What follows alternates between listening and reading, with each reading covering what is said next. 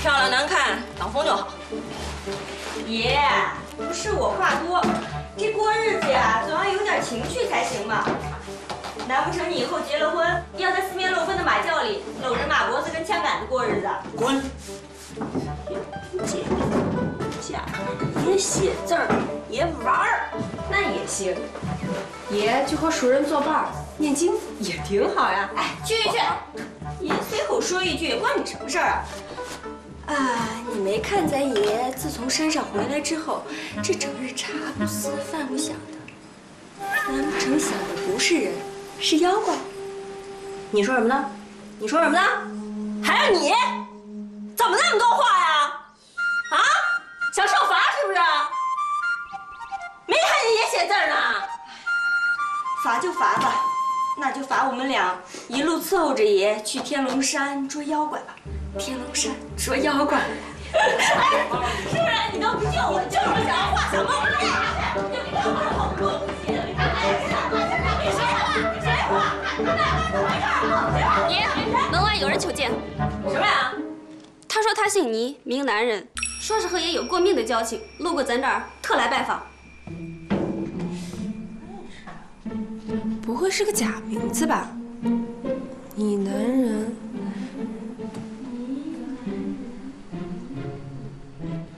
爷，他不就是你男人吗？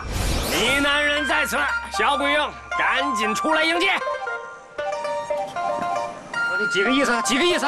谋杀亲夫怎么的？哎哎哎！你在胡说八道是吧？看爷不散你的嘴！哎，你看，哎，你看，真的，看，小鬼，放，放这半手，快，快，嘿，嘿，哎，嘿，撒手！不撒！这是爷的地盘，给兄弟们看见多难看啊！那你自找的，想看就看呗。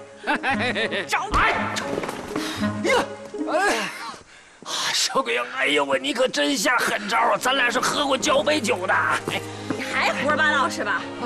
看来是不疼啊！不不，行行行，哎，飘喜欢你，飘喜欢你，哎哎，喜欢你。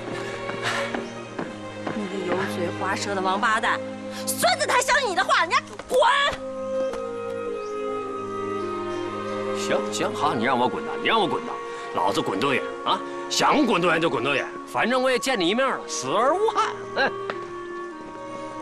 等会儿，你要去哪儿？哎，说去哪儿？我去金银寨找赵振江去。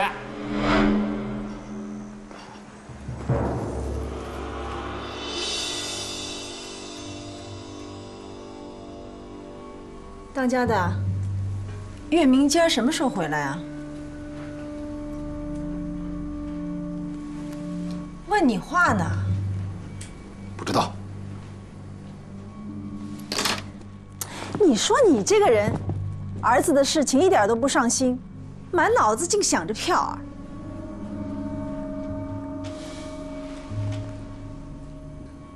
月明去外县办皮货，有程老板和黄老板提点着。票是单独闯寨子，一不留神是要掉脑袋的。这轻重缓急能一样吗？反正都是你有理。哎，当家的，你为什么让月明去办皮货呀？不是你说吗？让我栽培他吗？我是让你栽培他，可没让你栽培他做买卖呀。你让月明去办皮货，那是不是打算把山下的生意交给他呀？那哪能行啊？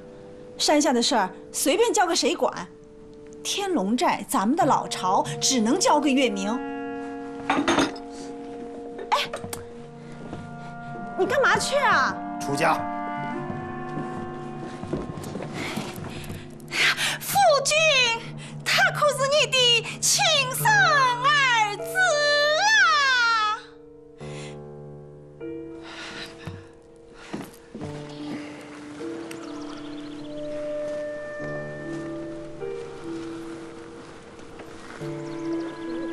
你呀，比我自由多了。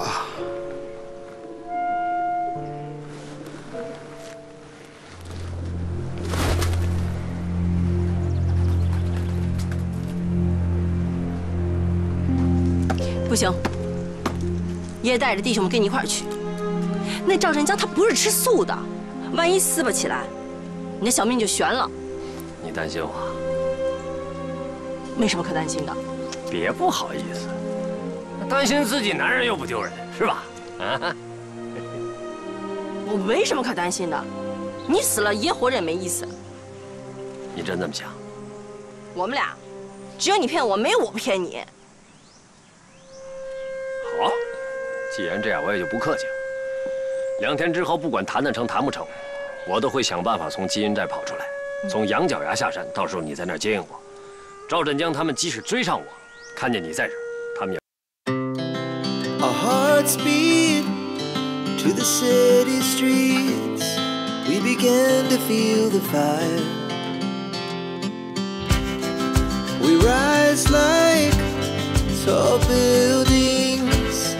As the chemicals they take us higher. 萧桂英望着他的背影，忽然有点明白别人说的牵肠挂肚。那一刻，他并不知道，他们这次的分别会如此的曲折和漫长。爹爹，爹，裹上眉毛了？啊？没啊？那你跑什么？那什么，我十二哥呢？寨子里没人吗？没啊？再仔细找找。哎呀，我都找了，那个娘跟几个哥哥都不告诉我，这不我寻思你肯定知道，你快告诉我呗，爹。爹。哎呀，回来。干啥呀？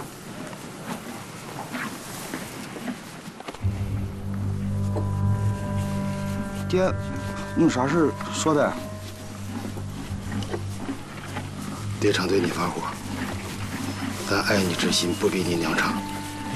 你的名字叫张月明，就是想取超越张才明的意思，你懂吗？嗯，我懂。可是，咱们山寨里面除了我十二哥，没有第二个人能超越爹。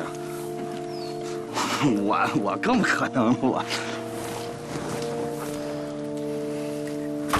接着呗。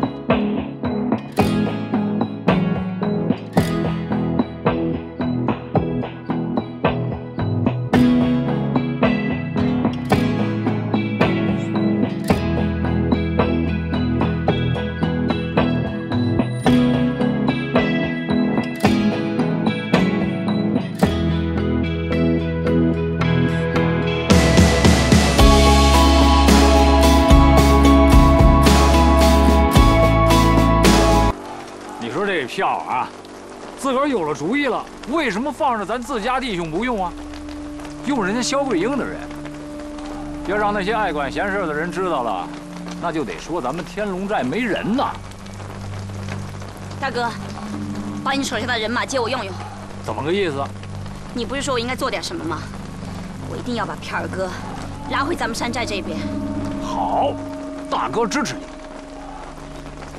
哎，金银寨那边让人传过话来了，说票儿今天晚上得多住一宿，明天他们派人从寨门走大道把他送回来。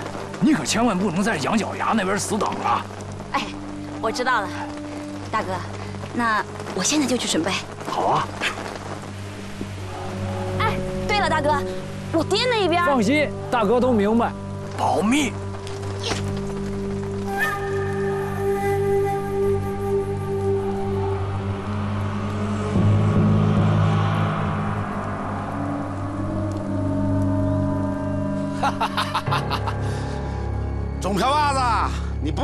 不会会胆识过人呐？啊！就凭你单枪匹马闯我金银寨的脾气，我赵振江就服你了。不敢啊，赵大当家的。票呢，一根筋，不过就是以心换心，以诚换诚罢了。啊！你看我既然来了，你们金银寨跟天龙寨的梁子，是不是就能给解了？本来呀，也没想跟他们结什么梁子，只不过是想招揽个能人，来我们这寨子里经营个当铺罢了。你这个招能人，这不是办法呀！你要真想做生意，你就花俩钱，你踏踏实实的雇一个，啊！你想，哎，你拿刀逼着我来替你管理当铺，他能跟你一心一意吗？他不够好，我就杀了他呀！得以德服人，做生意，啊，诚信为本，你得胸怀得大呀，你眼光得远。你这你才能将来挣大钱，那打打杀杀那不是长久之计。那你就帮我找两个呗。行，我帮你物色。那个，行，我到时物色好，我告诉你啊。好，给我个面子，人放了，行不？呃，这行，你总瓢啊这么爽快，我这就放人。赵大当家是明白人啊，这么一来啊，你们跟天龙寨还成了坏事变好事了。以后咱们两家多多扶持。好，好，飘不打扰了，告辞。您别，今天晚上的酒席我已经准备好了，您就在这住一宿。天龙寨那面我已经派人通知了啊。恭敬不如从命，请请。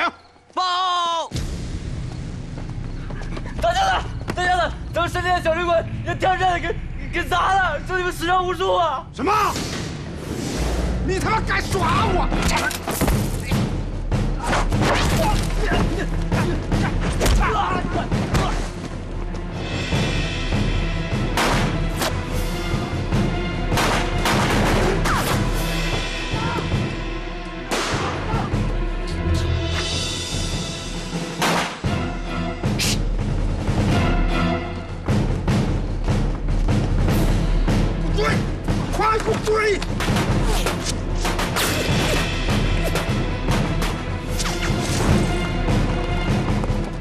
萧桂英带着手下人日夜兼程赶往金银寨，以为很快就能见到他，谁料到半路上遇到了麻烦，直接导致萧桂英和票之后的种种。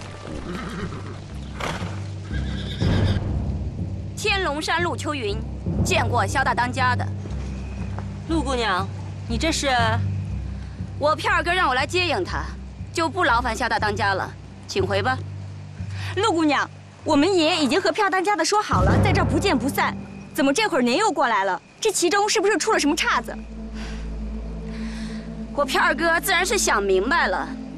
萧大当家虽然仗义，可毕竟不是自家寨子里的人，人心隔肚皮。不是吗？您这是什么意思？难道我们爷还会害总票把子不成？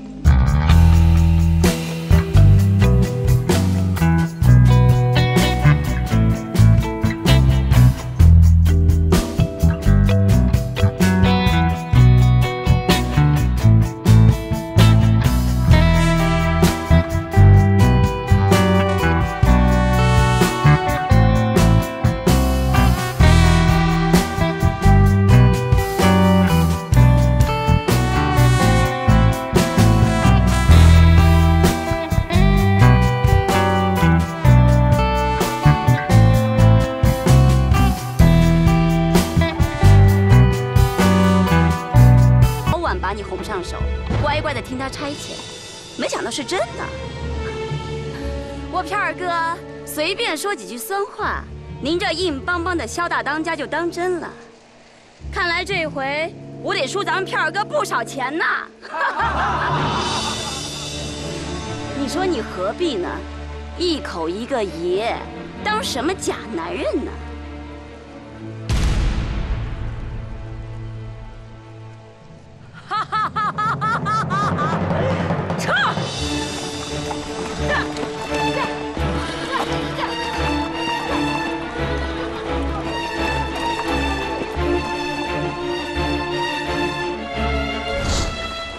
金银寨那边让人传过话来了，说票今天晚上得多住一宿，明天他们派人从寨门走大道把他送回来。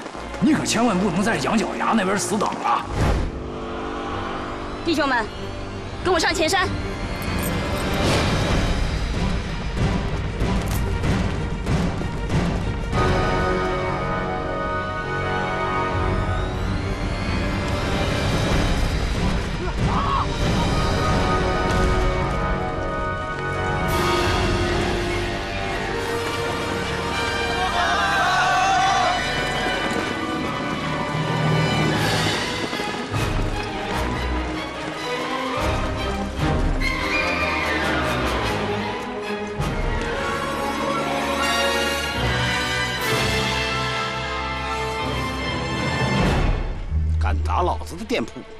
我他妈灭了你！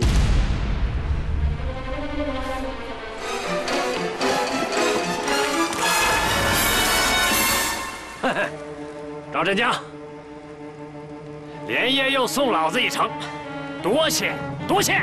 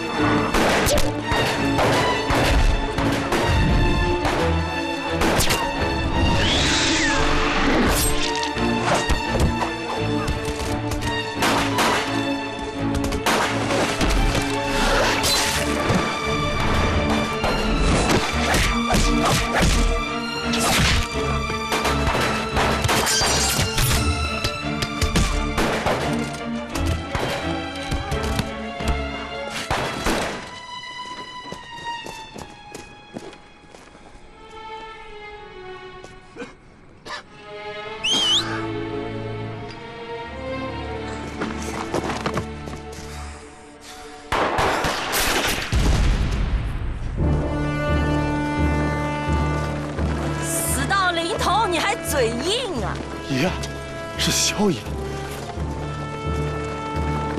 爷是你叫的吗？你想当初把票儿逼上悬崖的时候，想过有今天吗？爷今儿就让你血债血偿。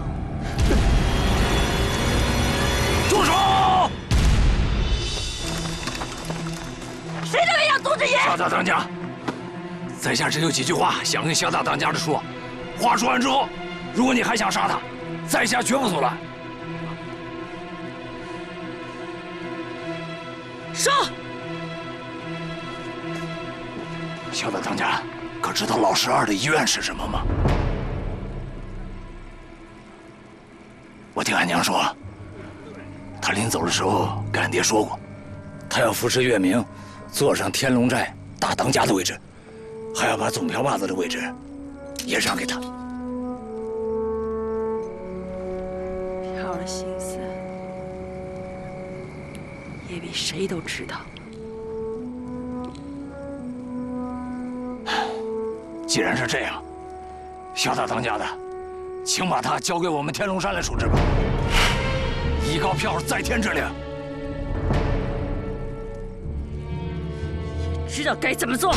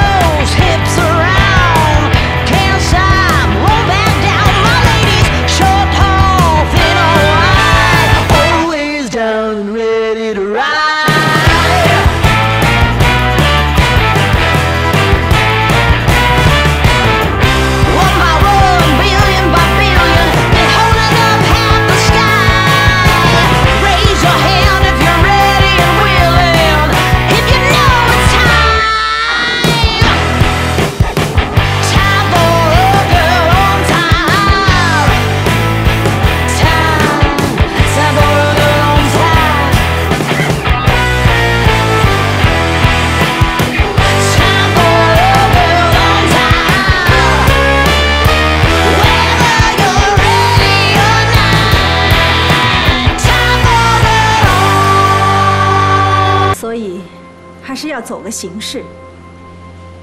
就算是这样，总瓢把子留下的话也是传位给他十三弟，又不是张大当家的，更不是夫人您。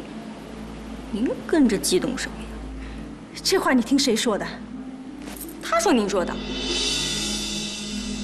肯定是他说错了，要不然就是你听错了。当家的，我可没说票儿把位子留给月明啊。闭嘴，别往下说了。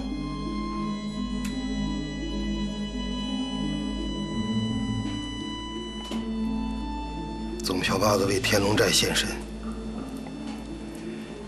天龙寨愿服孝一年来祭奠总瓢把子。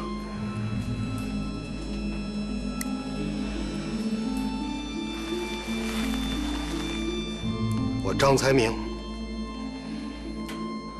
我张才明一年之内绝不接替总瓢把子位置。如若违反，我愿受三刀六洞，应着狼咬之刑。就这样，张才明情真意切的一番话，博得了九山十八寨众当家的认可。那总瓢把子之位，也暂时被他收入囊中。暂时，在那时那种一个月报销两个总瓢把子的乱局之下，一年之后究竟会发生什么事，谁也说不清楚。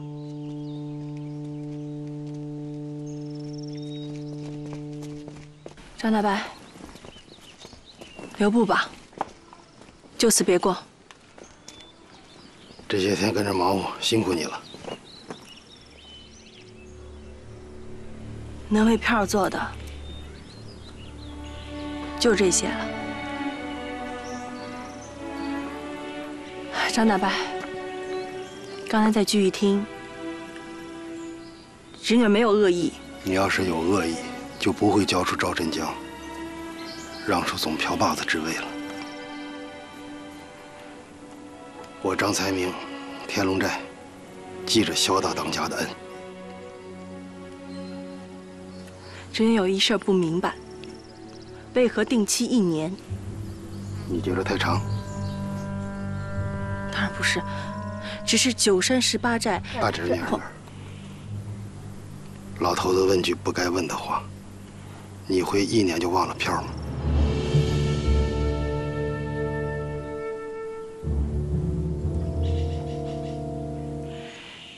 一辈子也忘不了票，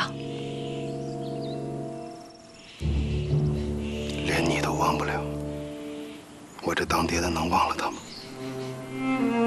我只嫌一年的时间太短，我为我儿愿意一直等着。张大白，总瓢把子，爷和凤鸣寨。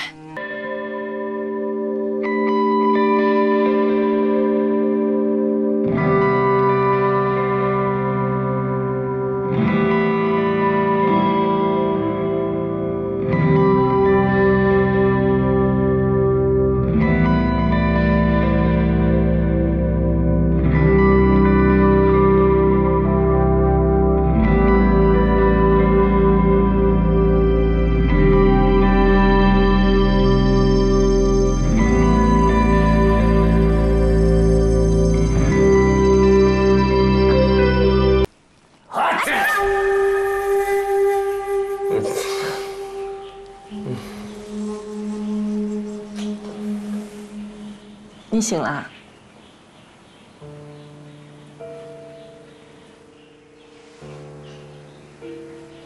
阎王爷这还有女的？哎，你这人烧烧糊涂了吧？你没死，我们在河边把你救了。嗯。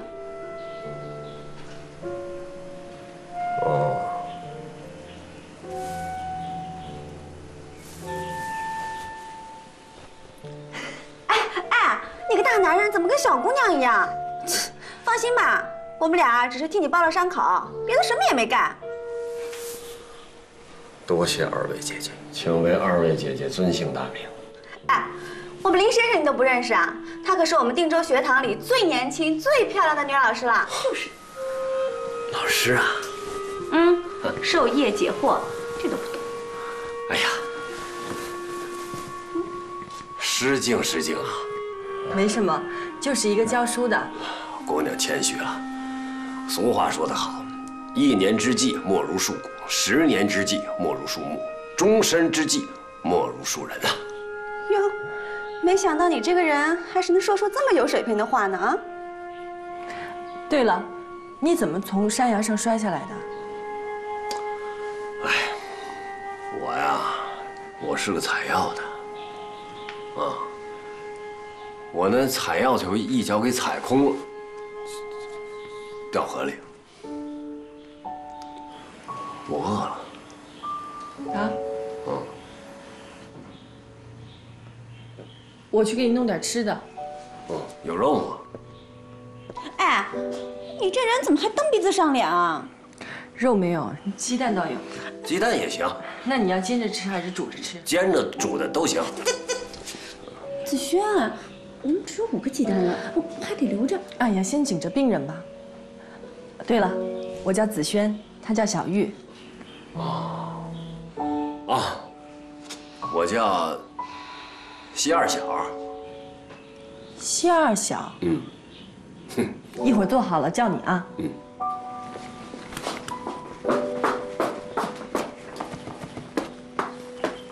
玉兔精，长得跟玉兔精似的。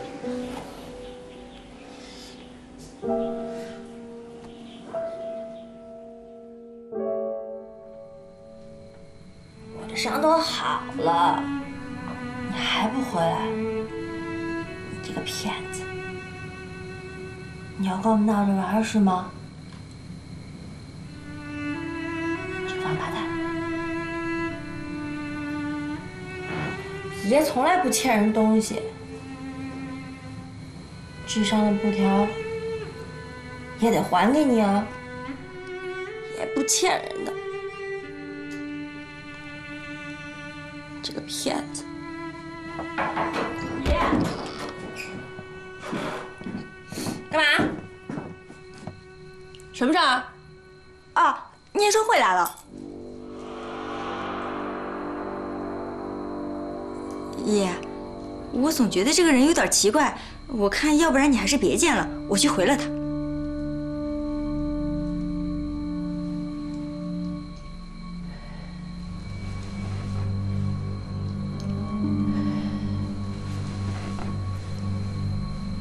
太保，我很想知道他壶里到底埋的是什么药。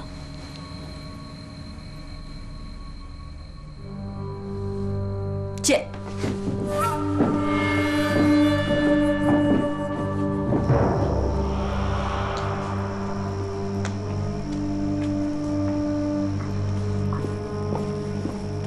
小大当家的，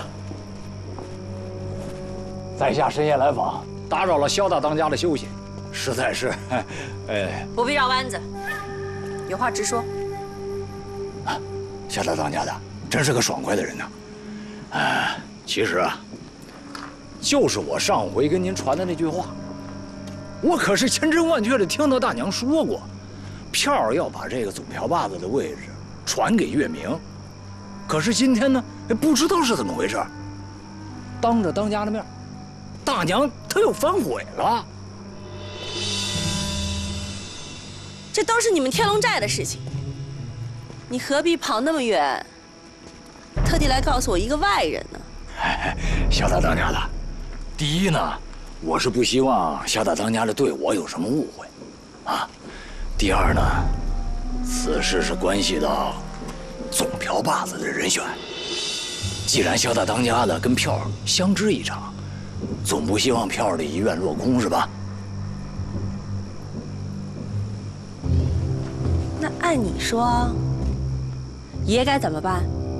哎这不是按我说这，这是票儿的意思。你看，月明肯定是应该是坐上啊总瓢把子的位置，咱们既是九山十八寨的人，那就应该替月明保驾护航啊！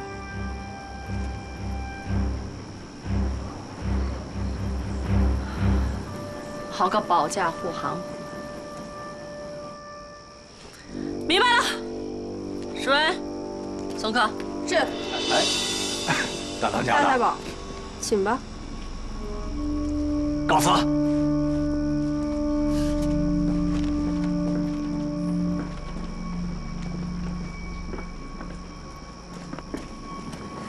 爷，你说这聂双慧的话可信吗？管他可不可信，反正他天龙寨啊 是没有好日子过喽。那咱们向着哪头啊？张大当家的？咱们向着那个遵守一年约定的那头。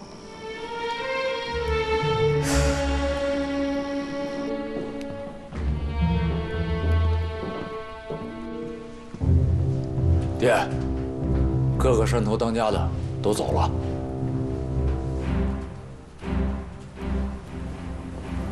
现在没有外人了，咱们就打开天窗说亮话。谁去砸了赵镇江城里的店铺？是谁干的？